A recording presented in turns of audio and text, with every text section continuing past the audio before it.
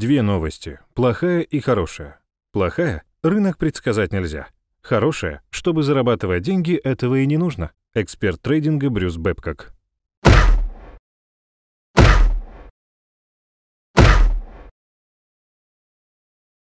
После возвращения из похода в страну амазонок Геракл отправился на новый подвиг. Эврисфей поручил ему пригнать в Микены коров великого Гериона. Геракл отправился в далекий путь. Прошел через Африку, бесплодные пустыни Ливии, страны диких варваров и, наконец, достиг пределов земли. Ему пришлось плыть по океану, сражаться с волшебным псом и трехглавым великаном. Захватил Геракл знаменитых коров, но ему предстояло пригнать их в Микены. И чтобы привести основную часть стада царю, Гераклу пришлось смириться с потерей некоторых коров. Подвиг десятый, самый неприятный, который должен совершить э, трейдер, это умение работать с убытками. Вот история с Гераклом, он довел коров Гериона до заказчика только потому, что в конечном счете вот смирился с убытками, часть стада разбежалась. И как это не печально, мы тоже должны быть готовы к тому, что часть нашего инвестиционного стада разбежится, ну, уйдет в убыток. Нельзя пытаться сделать весь 100% свой трейдинг прибыльным. Эта задача, а, непосильна, и, б, в конечном счете приведет вас гарантированно к разорению. Нельзя отыгрывать свои убытки, надо уметь их фиксировать. И а, вот этот фиксинг э, заключается именно в двух вещах. Первое, никогда не отыгрывайтесь. Знаете, старая поговорка, не за то отец сына порол, что играл, а за то, что отыгрывался. Как правило, вот эта психология, я сейчас отыграюсь именно на том же инструменте, и желательно в тот же день, в который потерял, именно она ведет к убыткам.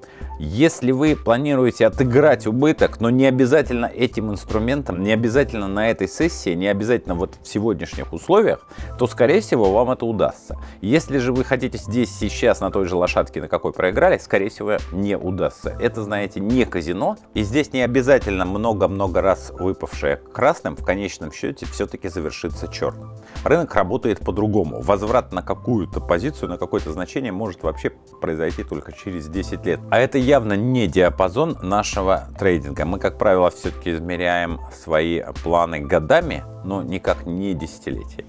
То есть первый момент, который связан с умением а, работать с убытками, заключается в том, что никогда не отыгрываетесь. А второй – это умение, собственно, фиксировать убыток.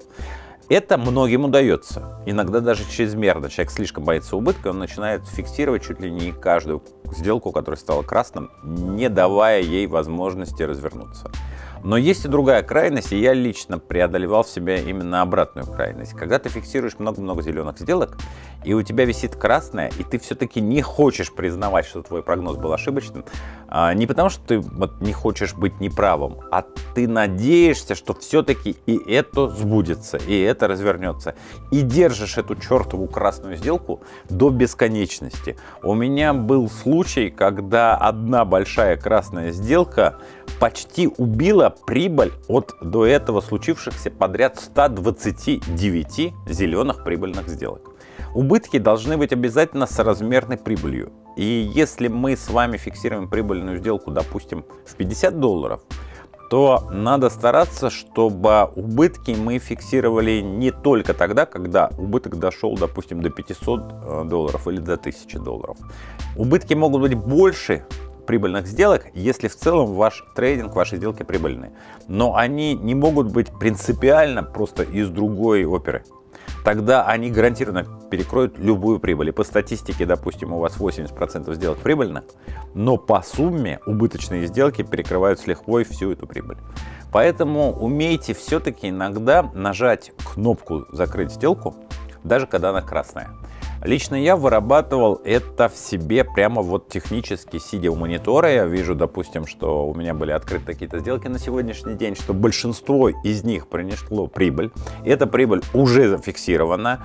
Соответственно, если я сейчас нажму и соглашусь, что эта сделка оказалась неверной, и я фиксирую убыток, я по итогам сегодняшнего дня буду в прибыли. И вот я садился и вот мышкой заставлял себя все-таки нажать.